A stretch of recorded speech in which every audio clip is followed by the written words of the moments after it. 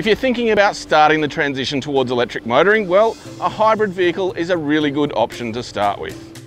First of all, a hybrid vehicle is, as it says, a car that combines multiple power sources within its drivetrain, and in the vast majority of cases, that means it has both a conventional combustion engine and an electric motor with a battery pack.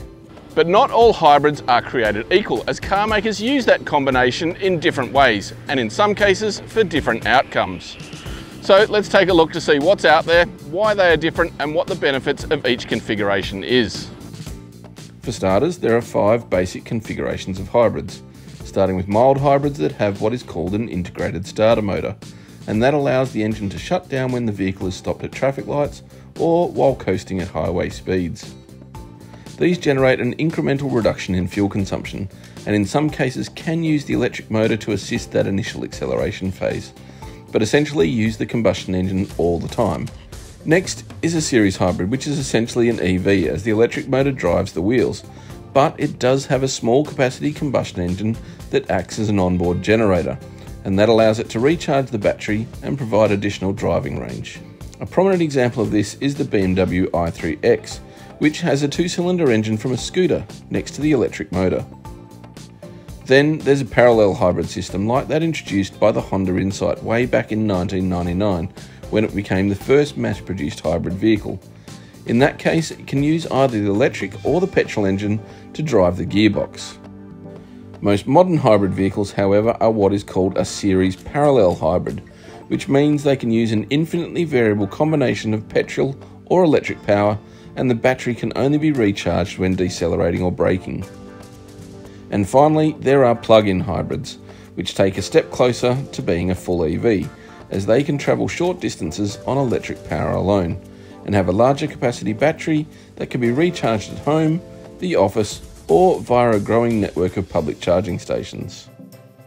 And what we have here are two examples of the latter, the Hyundai Ioniq, which is available as a standard hybrid, and here, a plug-in hybrid vehicle. At a glance, there's barely any difference between them, they have the same 5-door body, same 5-seat cabin, and all the latest mod cons and active safety features. In fact, from the outside, all that you can see that defines them is different style alloy wheels and those badges. Under the bonnet, they both have exactly the same engine, a lean burning 1.6 litre four cylinder that produces 77 kilowatts of power and 147 newton meters of torque, and drives the front wheels through a six speed dual clutch automatic gearbox. Sandwiched between the engine and the gearbox the Ioniq Hybrid has a 32 kilowatt 170 newton meter electric motor that increases its total combined outputs to 104 kilowatts and 265 newton meters. And under the boot at the back of the car here, it has a 240 volt lithium ion polymer battery that stores 1.56 kilowatt hours of energy. Plug-in hybrid vehicle may have the same peak torque and power outputs, but it is fitted with a more powerful electric motor, producing 44.5 kilowatts, and it has a significantly larger battery, producing 360 volts and storing 8.9 kilowatt hours. And that means they do perform differently when and how you drive them.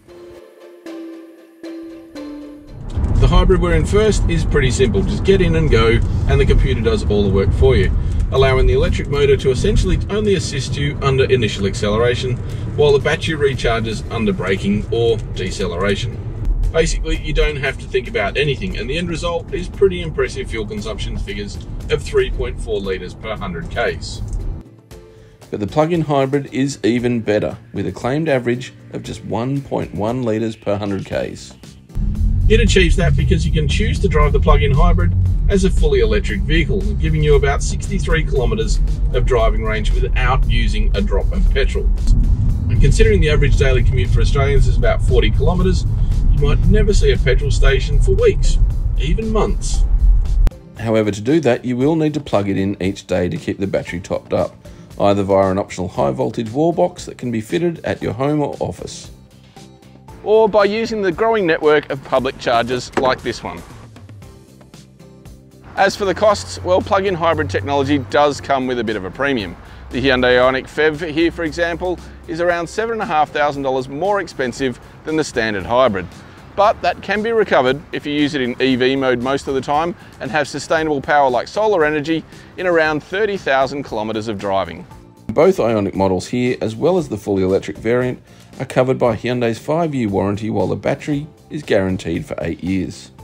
Whichever route you take, a hybrid vehicle is a more efficient option than a conventional petrol car and is therefore going to save you significant money in overall running costs. There's more hybrids available now than ever before and there's plenty more to come. So, if you're looking at transitioning your fleet to electric power in the future and want to know more about hybrid options today, speak to LeasePlan for more information.